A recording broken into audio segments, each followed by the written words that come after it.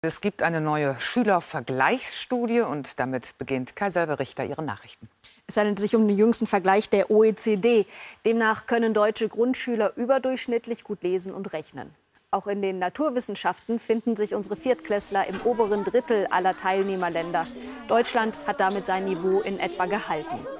Aufgeholt haben Kinder mit Migrationshintergrund, allerdings seien sie noch immer benachteiligt, ebenso wie ihre Mitschüler aus sozial schwachen Familien. Die Bildungsforscher mahnen auch bessere Angebote in Ganztagsschulen an.